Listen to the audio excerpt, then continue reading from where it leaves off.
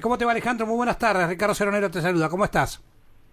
Ricardo, buenas tardes. ¿Cómo te va? Saludo a toda tu audiencia. Muchas gracias, gracias por atendernos. Sé que estás ahí con, con mucha gente de, de, de, afuera que ha venido, en caso de Bolivia, Brasil, Chile, Colombia, Costa Rica. 16 países están en la Argentina con el tema de la marca país y en minutos nada más van a ir a una cena. Gracias por atendernos. Bueno, ¿qué significa este encuentro latinoamericano de marca país? Bueno, este encuentro ha sido una hemos hecho el año pasado en el foro de marca país de Santiago de Chile y la idea era empezar a ordenar la agenda latinoamericana de los temas a tratar entre las distintas agencias gubernamentales que tenemos a cargo la responsabilidad de adelante la, la imagen de los, nuestros países al mundo, ¿no? Como en el caso nuestro, el de la marca argentina. Y, la, y bueno, y esto, este, este, este conjunto de, de gente, 16 países que vienen a Argentina, está orientado al intercambio de experiencia, ¿no? También.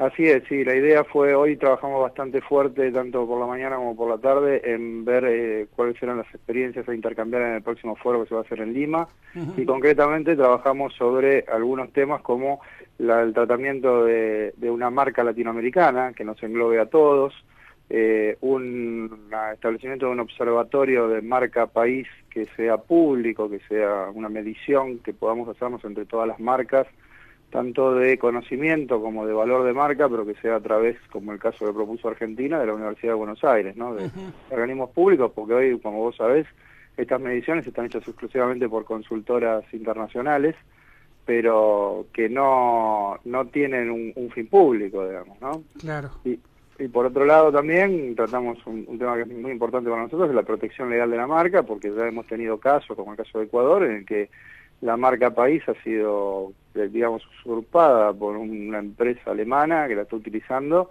Y bueno, en realidad eh, no hay un marco normativo claro para eso y nosotros queremos trabajar también eh, estableciendo ese marco internacional. Está bien, ese está muy bueno. Aparte, claro, como un registro internacional, si no, puede correr ese, ese, ese riesgo. Eh, Alejandro Schiavi, eh, esto, esto fue en la marca país, ¿no? Me refiero, fue iniciativa de, de presidente Néstor Kirchner, ¿no? No recuerdo el año, pero creo que por allá, por el 2003, 2004, ¿no? El presidente Néstor Kirchner impulsó la, la, marca País en el año 2004 y luego nuestra presidenta Cristina Fernández de Kirchner en el año 2007 estableció el primer isologotipo de marca, ese que, usaba el Improtur con la cinta gris, que te recordarás. Claro. Esa plateada en el medio, hoy tenemos esta cinta amarilla en el medio también reformulada por, por nuestra presidenta en el año 2014 y que está orientada más que nada a representar los valores de la Argentina pero no solamente desde el punto de vista de un logo, ¿no? En este caso lo que hemos hecho también fue trabajar con toda una tipografía y una forma de expresarse realizada por argentinos. Convocamos un tipógrafo argentino para que realice esto. Hemos realizado todo un alfabeto nuevo para poder ser utilizado en gráficas y en vía pública. Y la característica que te cuento que tiene esto, por ahí parece una cosa más técnica, es que logramos registrarlo como eh, fuente argentina, con lo cual vos en cualquier procesador de texto, ya sea Word o cualquiera de estos que, que se utilizan en las computadoras, vas a encontrar entre todas las fuentes que tenés para escribir, como esta Time New Roman, Arial y todo eso, aparece una que es la única que tiene el nombre de un país, que es Argentina, justamente. 1926 estaba hablando con el subsecretario de Coordinación del Ministerio de Turismo de la Nación y representante de la marca País Argentina, eh, subsecretario Alejandro Schiavi. Marca País uh, son muchas empresas y también algunos deportistas, ¿no? Así es, tenemos este, más de, luego de estos reparamientos que hicimos hace poquito más de un mes, ya tenemos más de 100 empresas que son marca país, eh, de todo tipo, empresas que son muy conocidas como La Martina o uh -huh. Cardón o, o, Fredo, y empresas que son más pequeñas a las cuales le damos la oportunidad de subirse a la estrategia marca país para poder exportar y para poder generar mayores negocios. ¿Todas las empresas, Alejandro, argentinas pueden llevar la marca país argentina?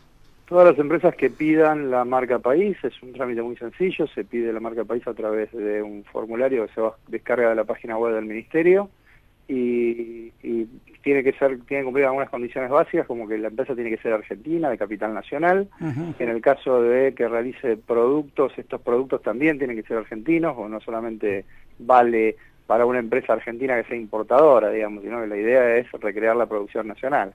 Claro. Y, y también, obviamente, para las empresas de servicios argentinos. ¿Y para qué sirve la marca argentina, Alejandro? Bueno, buena pregunta, Ricardo. ¿Para qué sirve la marca argentina? La marca argentina en realidad tiene como tres cualidades o tres, tres ejes diferenciales. Uh -huh. En primer lugar, para quienes exportan, eh, define eh, origen de producto, digamos, ¿no? nada más y nada menos que en lugar de andar gastando mucho dinero en promocionar desde dónde es o qué tipo de calidad tiene, la marca argentina funciona como un sello de origen. Por otra parte, la marca argentina lo que hace para las empresas es aquellas empresas que son pequeñas o medianas y quieren acceder a la exportación, tienen un canal de comunicación muy potente a través de la marca que está desarrollado ya sea por las misiones comerciales que organiza la Cancillería en conjunto con el Ministerio de Turismo o también este, la Fundación Exportar. Claro. ¿Y esto todo esto en el marco de las empresas privadas, por como decir, para el sector público también o no? Para el sector público también, en realidad el decreto que ha firmado la presidenta el año pasado es eh, de uso público para todo el sector público. Cualquier eh, organismo estatal puede utilizar la marca país y por supuesto que también firmamos convenios con las provincias y los municipios para otorgarles la marca país para que puedan potenciar sus productos y sus servicios y obviamente generar una, una interacción muy fuerte con el mundo. Muchas gracias por esta comunicación, Alejandro Schiavi. Vimos que eh, en Rosario eh, ustedes presentaron una muestra de marca país que va a ser itinerante, que va a recorrer todo toda la Argentina. Eh, empezó en Rosario y por dónde sigue, Alejandro. Bueno, así es, hemos presentado la muestra itinerante, la marca de lo que somos, se llama la muestra, lleva 70 posiciones, o sea, 70 mm, productos que se pueden ver, 70 exposiciones que se pueden ver dentro de esta, de esta muestra de lo que significa ser argentino, desde mostramos desde la creación del ARSAT hasta la designación del Papa, el polo, el mate, eh, Mafalda, hay como muchas cosas que nos hacen ser argentinos y a su vez tienen algunos datos curiosos que a nosotros lo que nos ha sorprendido es esta cosa de que la familia se termina integrando porque es un trasvase generacional. Los chicos le preguntan a los padres quién era Olmedo, por ejemplo, que nosotros hemos visto, pero los chicos no saben quién era Olmedo, ¿no? O, o, cómo es el tema del Martín Fierro, o, esas, esas interacciones son muy interesantes. Nosotros empezamos en Rosario, eh, la muestra está viajando a La Rioja, que va a estar a partir del viernes en, en la ciudad de La Rioja, en la ciudad, en la ciudad capital, se va a mantener ahí hasta el próximo sábado siguiente, 4 de julio, y luego a partir para, para formar parte de los festejos del 9 de julio en Tucumán. Veo también que han incorporado también figuras de Fontana Rosa, Enodoro Pereira, lo que es un bombo legüero, también los, los isotipos y logotipos de Boca River. La verdad que está muy interesante. Eh, Esquiavi, muchas gracias. Eh.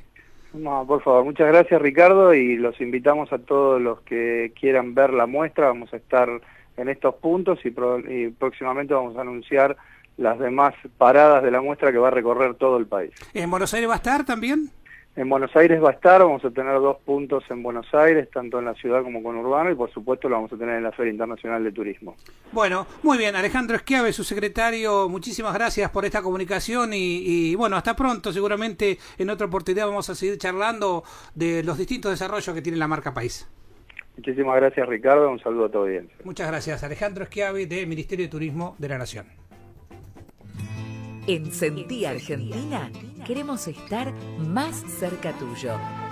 Sentí Argentina, una mirada turística y cultural diferente de nuestro país, con la conducción de Ricardo Ceronero.